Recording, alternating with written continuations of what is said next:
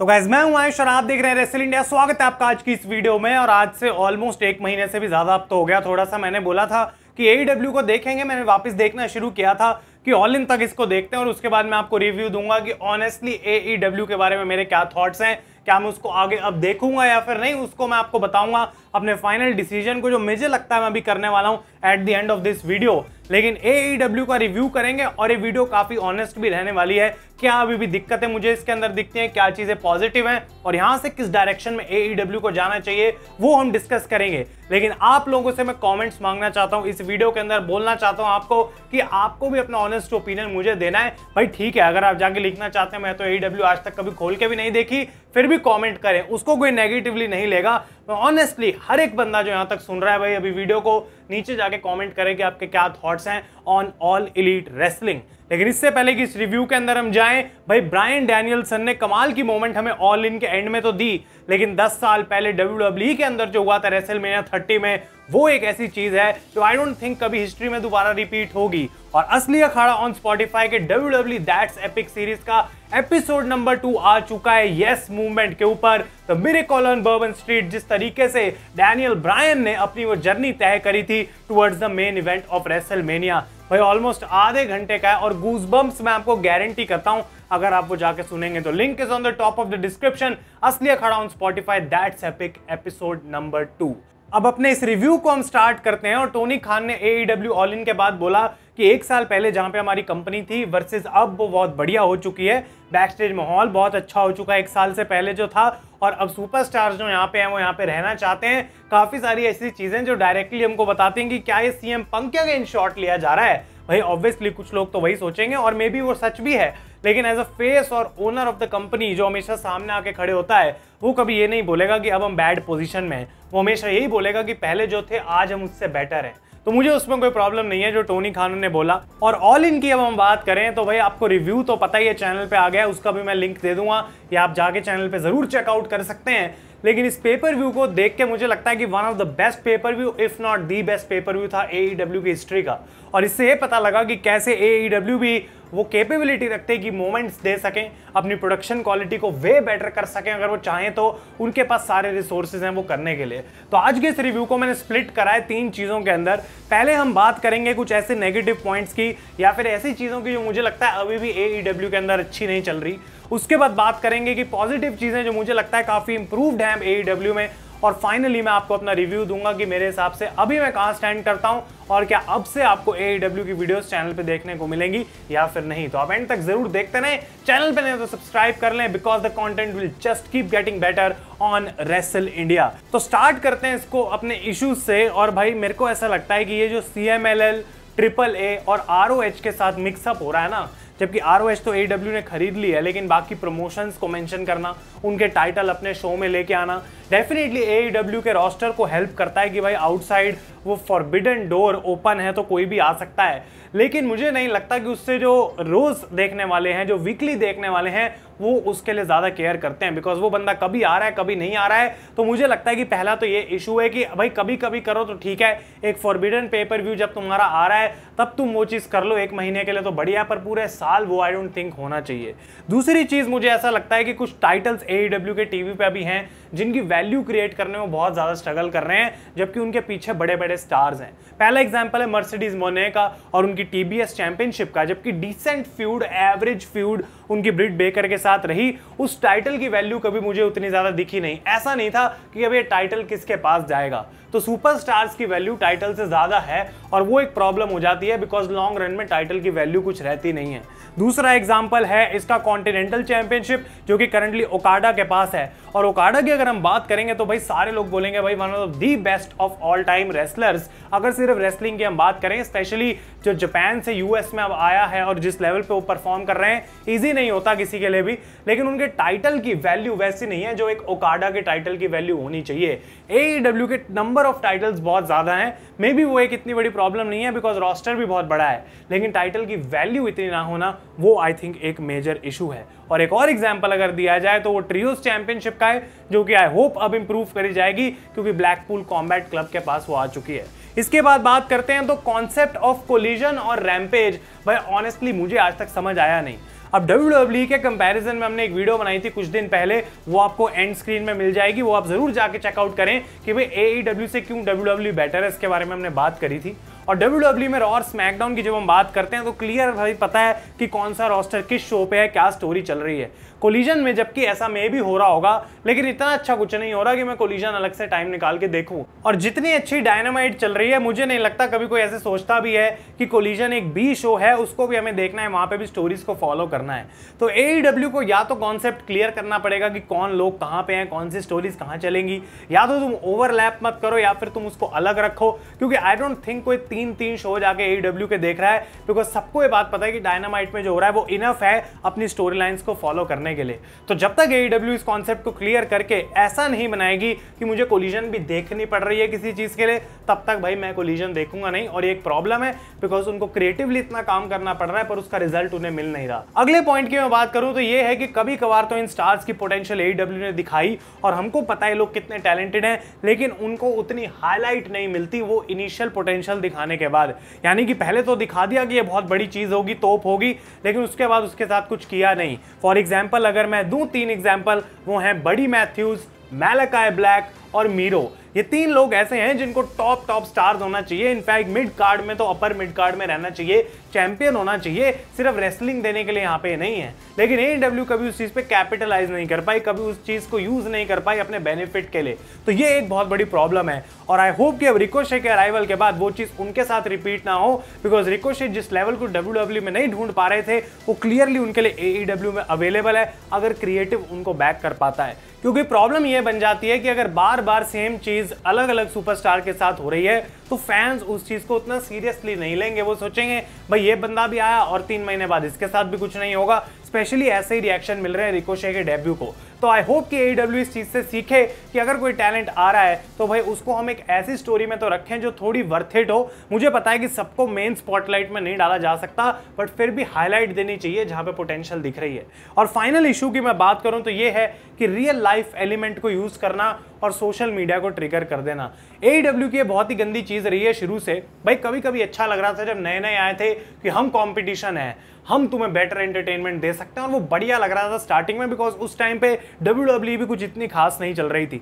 लेकिन A e का हर बार उस चीज़ को यूज़ करना, ना ही सिर्फ़ डब्ल्यू e के लिए, लेकिन कुछ भी ऐसी रियल लाइफ में किसी सुपरस्टार की चीज़ हुई है, उसको लेके आना और उससे सोशल मीडिया पे एक नेगेटिव इफ़ेक्ट क्रिएट करना, उनका कोई फ़ायदा नहीं कर रहा। मे भी उनको लगता है कि लोग इसके बारे में बात करेंगे तो आईज हमारे प्रोडक्ट पे आएँगी, लेकिन वो नेगेटिव आईज आती है जो लोग आके उनको ट्रॉल करके चले जाते हैं। तो ये कुछ ऐसी चीज़ें हैं जो मेरे हिसाब से अभी भी इश्यूज़ हैं ए के अंदर, जो कि उनको फिक्स करने पड़ेंगे धीरे धीरे विद टाइम ताकि वो और ज़्यादा ग्रो करके एक बेटर कंपनी बन जाए। लेकिन अब पॉजिटिव्स पे भी फोकस करते हैं बिकॉज़ इसकी भी कमी मुझे रिसेंटली नहीं दिखी। पहला पॉजिटिव और सबसे बड़ा पॉजिटिव है कि जैसे उन्होंने स्वर स्ट्रिकलैंड को एक ए डब्ल्यू चैंपियन ही नहीं, बल्कि एक ऐसा सुपरस्टार बना दिया, जिसकी और काफ़ी ज़्यादा है। और ये वर्ड यूज़ ना हो, आजकल ऐसा हो नहीं सकता। भाई स्वर स्ट्रिकलैंड जिस तरीके से वो ड्रिप उनकी दिख रही थी ना, जो प्रेजेंस थी ऑल इनकी एंट्रेंस के बाद जब वो मैच से पहले रिंग में खड़े थे, लग रहा था कोई चैंपियन है।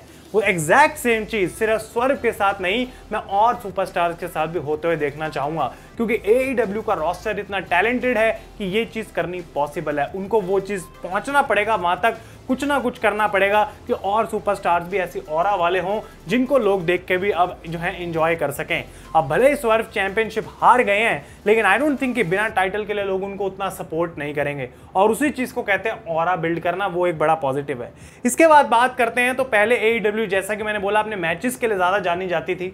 लेकिन अब ऐसा रिसेंटली लग रहा है, पिछले एक डेढ़ महीने से स्पेशली कि स्टोरी लाइन्स भी उतनी ही मैटर करती हैं जितने मैचेस बिकॉज़ तुम एक फाइव स्टार क्लासिक मैच तो दे सकते हो, लेकिन अगर उस मैच का कोई पर्पस ही नहीं है, उस मैच के पीछे ज़्यादा अच्छी स्टोरी ही नहीं है तो लोग केयर क्यों करेंगे? हमें पता है कि जो रोस्टर है, वो क्लासिक मैचेस देने में कोई कमी नहीं रखता है, लेकिन उसको बिल्ड करो उस पॉइंट तक कि फाइनली जब मैच हो तो लोग उसको ओवरऑल अप्रिशिएट करें और उसके लिए तालियाँ बजाएँ, जो कि हमें ऑस्पर और एमजेएफ की फ्यूड में टोनी स्टॉम और मराया मे की फ्यूड में और साथ के साथ डैनियलसन और स्वर्व की फ्यूड में देखने को मिला। इसीलिए मैं बार बार बोलता हूँ कि ये तीन फ्यूड पे और एग्ज़ाम्पल हैं कि ए कैसे अब अपनी स्टोरी लाइन्स को उतना ही अच्छा बनाने की कोशिश कर रही है, जितने उनके मैचेस भी हैं।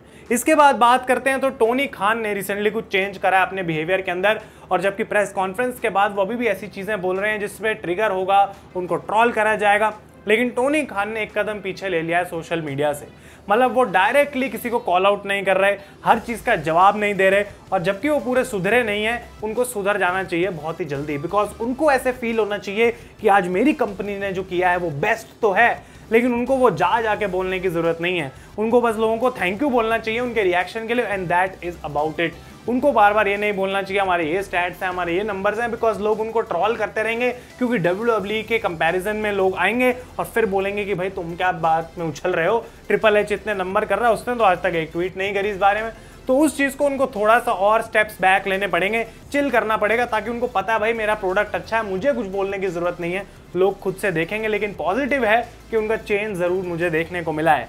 इसके बाद बात करते हैं और ये है सबसे बड़ा पॉजिटिव किसी भी कंपनी के लिए दुनिया में, ना ही सिर्फ़ रेसलिंग में, कि भाई अगर तुम एक एंटरटेनमेंट कंपनी हो, तुम्हें अपना कंटेंट दिखाने के लिए कोई प्लेटफॉर्म तो चाहिए, और रेसलिंग के मामले में वो होती है टीवी डील्स अब टीवी डील्स जो है ए e की पाँच साल पहले साइन हुई थी 2019 में जब कंपनी स्टार्ट हुई थी, और TNT के साथ उन्होंने पाँच साल की डील जो साइन करी थी, अब वो खत्म हो रही है. लेकिन वार्नर ब्रदर्स के साथ वो उसको रिन्यू करने वाले हैं, और माना जा रहा है कि जो अगली पाँच साल की डील आएगी, वो डबल द मनी होगी जो पहले उनको मिला था। इसका मतलब ये है कि जो नेटवर्क उनको लेना चाह रहा है, उसको बहुत ज़्यादा होप उम्मीद और पोटेंशियल दिख रही है e में और 150 मिलियन डॉलर पर ईयर की डील माना जा रहा है। पाँच साल की बहुत जल्दी अब अनाउंस हो जाएगी e की।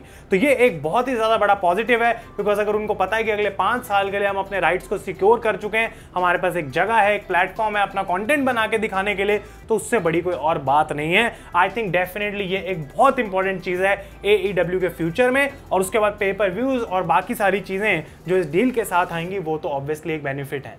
एक और चीज़ जो एईडब्ल्यू ने रिसेंटली शो करी है कि एज अ कंपनी जिसका नाम डब्ल्यू रही है ये भी आउटसाइड अमेरिका जाके टिकट्स बेच सकते हैं, लोगों को अट्रैक्ट कर सकते हैं बिकॉज़ इनका प्रोडक्ट इतना अच्छा है। और रिसेंटली उन्होंने अनाउंस करा कि 2025 में ग्रैंड स्लैम जो उनका शो होता है, वो ऑस्ट्रेलिया में स्टेडियम के अंदर होने वाला है। तो भाई ये जबकि ऑब्वियसली डब्ल्यू पहले कर चुकी है और उनके लिए एक सक्सेस रहा है, अच्छी बात यह है कि एडब्ल्यू इस चीज़ को देख के डर नहीं रही, पीछे नहीं हो रही। वो भी अपने आप को चैलेंज करना चाहते हैं कि हम भी ऐसा कर सकते हैं। और अगर आप इस केस में आके बोल रहे हैं, भाई डब्ल्यू डब्ल्यू की कॉपी पेस्ट कर रहे हैं, मुझे उस चीज़ से कोई भी प्रॉब्लम नहीं है because the business is booming और फिर से मैं ये बोलूँगा, अगर प्रोफेशनल रेसलिंग के हम फैंस हैं तो प्रोफेशनल रेसलिंग आगे बढ़े, यही हम चाहते हैं. और अगर ए भी बाहर जाके स्टेडियम शोज़ कर रही है और वो सेल आउट हो रहे हैं और हमें ऑल इन जैसे और पाँच, छह शो देखने को मिल रहे हैं साल में तो I am all in for that also तो ये भी एक ऐसा पॉजिटिव है जो ए डब्ल्यू के आने वाले पाँच सालों के अंदर मुझे लगता है कि उनको बहुत ज़्यादा बेनिफिट देगा अगर ग्लोबली उनकी प्रेजेंस बढ़ जाए स्पेशली अगर इंडिया में भी वो आते हैं शो करने के लिए तो मुझे लगता है बहुत लोग इंटरेस्टेड होंगे। और फाइनली अब अपने सेक्शन में आते हैं, जो कि मेरा रिव्यू रहने वाला है, कि क्या मुझे ऐसा लगता है ए e के बारे में, अब मेरा फाइनल ओपिनियन क्या है? मेरे को लगता है कि अभी भी बहुत सारी ऐसी चीज़ें हैं जो पॉजिटिव्स हमने मेंशन करे, वो पॉजिटिव्स दिख तो रहे हैं, लेकिन उनके साथ कंसिस्टेंट रहना बहुत ज़रूरी है। ऐसा नहीं होना चाहिए, तीन महीने तक स्टोरी अच्छी थी, फिर छः महीने के लिए बेकार हो गई, फिर तीन महीने के लिए अच्छी हो गई बिकॉज़ तुम फैंस को रख नहीं पाओगे अपने साथ। वो चले गए तो चले गए, वापस आने का चांस बहुत कम है और अगर आए भी तो उस एक महीने के लिए आएँगे, फिर गायब हो जाएँगे। सेकेंड पॉइंट ये है कि लॉन्ग टर्म फोकस रहना चाहिए कंपनी का। और अगर मैं टोनी खान की बात मान लूँ कि अब लॉकर रूम बढ़िया हो रहा है तो बहुत ही अच्छी बात है, उसको मेंटेन करके रखो। बढ़िया है भाई, अगर उनके हिसाब से सीएम पंक एक केओस क्रिएट कर रहा था, ठीक है भाई, तुमने सीएम पंक को हटा दिया। अब अगर उस चीज़ को हटा के तुम बेटर कर पा रहे हो तो तुम्हारा तब भी फ़ायदा है। सीएम पंक जो कर रहा है डब्ल्यू में, उसको तुम करने दो। नेक्स्ट चीज़ ये है, और एक बार फिर से मैं रिपीट करूँगा जो बेस्ट मेगा स्टार्स हैं तुम्हारे। ओकाडा ऑस्प्रे स्वर प्रायन ये सारे लोग जो भरे हैं एमजेएफ इनको इतना यूज़ करो जब तक उनकी पोटेंशियल तुम्हें दिख रही है, जितना उसको तुम निचोड़ सकते हो, उसको टीवी पे भाई आके दे दो। वेट मत करते रहो कि इस बड़े स्टार की मोमेंट कब आएगी। तुम्हारे पास उकाड़ा जैसा बंदा, उसको इतना सीरियस दिखाओ, इतना बढ़िया दिखाओ। वो क्लाउन नहीं लगना चाहिए इलीट के साथ घूमता हुआ। बॉडी नहीं लगना चाहिए यंग बक्स का। वो एक अपनी और होनी चाहिए उकाडा की, जो चैंपियन है, जो कॉन्टिनेंटल चैंपियन है। और प्रूव करना चाहिए उसको कि मैं कितना कमाल का चैंपियन हूँ। और ये चीज़ रिसेंटली हमने ऑस्प्रे के साथ देखी। और जब ऑस्प्रे के साथ देखी तो भाई पहले यही लोग बोलते थे कि ये तो बस एक रेसलर है, इसका तो क्या ही है, एक क्लासिक मैच देगा। लेकिन इस एम की फ्यूड के बाद मैं देख रहा हूँ कि कैसे अप्रिसिएशन बढ़ गई है ऑस्प्रे की। उनकी वो एंट्रेंस के बाद लोग उनको अब असैसिन बुलाने लगे हैं और उस चीज़ को फॉलो करने लगे हैं कि किस डायरेक्शन में ऑस्प्रे भी जा रहा है। तो वो एक बहुत बढ़िया बात है। इसके बाद एक मेजर पॉइंट जिसको आप नेगेटिव में भी ले सकते हैं, मैंने देखा कि क्रिस जेरिको और और ऐसे लोग जो कि थोड़े वॉश्ड आउट हैं, कोई डिसरिस्पेक्ट नहीं है, लेकिन उनका टाइम अब खत्म हो गया है। उनको ए को वीकली टेलीविज़न से हटाना पड़ेगा स्पेशली रेसलिंग मैचेस से। फॉर एग्ज़ाम्पल जेफ जैरेट एक और ऑप्शन है जबकि वो डिसेंट मैच दे देंगे भाई, लेकिन तुम्हें ज़रूरत नहीं है बिकॉज़ तुम्हारे रॉस्टर पे इतना कुछ है। क्रिस जेरिको को एज अ कॉमेंटेटर रखो अनाउंसर रखो, उनको एज अ मैनेजर रखो प्रोमो उनसे कट कराओ ऑल गुड लेकिन रेसलिंग मैचेस जब बात आती है तो नहीं होना चाहिए बिकॉज़ वो शो पे एक बड़े नेगेटिव की तरह काम करता है। इसके बाद नेक्स्ट पॉइंट जो मैंने यहाँ पे लिखा हुआ है कोई ज़रूरत नहीं है फोकस करने के on World Wrestling Entertainment W जो कर रही है, उनको करने दो, तुम्हें जो करना है, तुम करो। बहुत अच्छी बात है, तुम आगे बढ़ पा रहे हो, अच्छी चीज़ें कर पा रहे हो, उस पर फोकस करो। दूसरी तरफ़ क्या चल रहा है, उस पर फोकस थोड़ा सा कम करना चाहिए। और फाइनली जो मैं बोलने वाला हूँ give fans what they want सबसे सिंपल फॉर्मूला अपनी कंपनी को अच्छा चलाने का, जो लोग मांग रहे हैं सोशल मीडिया डिमांड कर रहा है, वही अपने प्रोडक्ट पे रख दो। लोग ऑब्वियसली भागते भागते तुम्हें देखने आ जाएँगे। तो अब यहाँ पे मैं बात करता हूँ कि क्या अब से आपको AEW के रिव्यू देखने को मिलेंगे या फिर नहीं, क्योंकि कल है डायनामाइट जो कि शो होगा अब ऑल इन के बाद, और उसका आंसर है येस बिकॉज़ मैंने पेपर व्यू का कैलेंडर खोल के देखा तो अब सितंबर सेवन को ऑल आउट होगी लिटरली भाई, पंद्रह दिन में हमें नया पेपर व्यू देखने को मिल जाएगा। आई डोंट नो उसकी बिल्ड क्या रहेगी। उसके बाद रेसल ड्रीम होगा जो कि ब्रायन और स्वर्व के होम टाउन में है, जैसा कि मैंने बोला वॉशिंगटन स्टेट में है। अक्टूबर ट्वेल्थ को और फुल गेयर उसके बाद देखने को मिलेगी नवंबर 23 को। तो ये जो तीन पेपर व्यूज़ हैं आई थिंक बहुत ही बढ़िया होने वाले हैं और ये पीरियड इनफ रहेगा मेरे लिए जज करने के लिए कि ए e क्या कंसिस्टेंट रह पाई या फिर नहीं। या ये उल्लू बना रहे हैं फैंस को, एक बार अच्छा करते हैं, उसके बाद वेट कराते हैं पूरा साल घुमाने की कि ऑल इन कब आएगी। तो वो भी आइडिया लग जाएगा और उसके बाद देखेंगे कि क्या हम वहाँ से कंटिन्यू करेंगे या फिर नहीं। बिकॉज़ ये कोई ऐसा नहीं है कि मैं एक पत्थर की लकीर पे ए e को टांग के रखा हुआ है, भाई ये नहीं करोगे तो देखूँगा नहीं। ऐसा नहीं है, लेकिन अगर वो चीज़ मेरे टाइम के वर्थ इट नहीं है और उतनी अच्छी नहीं है तो मैं उसमें भी कोई इंटरेस्ट नहीं रखना चाहता। लेकिन अभी के लिए चीज़ें काफ़ी पॉजिटिव है तो ए डब्ल्यू की वीडियोस भी कंटिन्यू रहेंगी ऑन द चैनल अगर अपने हाथ तक वीडियो देखिए तो भाई जेनुअनली आप लोग केयर करते हो प्रोफेशनल रेसलिंग के लिए। आप दो मिनट में इन चीज़ सुन के भागते नहीं हो तो आप जेनुअनली केयर करते हो प्रोफेशनल रेसलिंग के लिए। और अगर आप जेनुअनली केयर करते हो प्रोफेशनल रेसलिंग के लिए तो असली अखाड़ा ऑन स्पॉटिफाई का पॉडकास्ट सुनना बिल्कुल भी ना भूले। On Bryan's yes movement at WrestleMania thirty guys तब तक के लिए thank you so much for watching मैं हूँ आयुष और आप देख रहे हैं रेसल इंडिया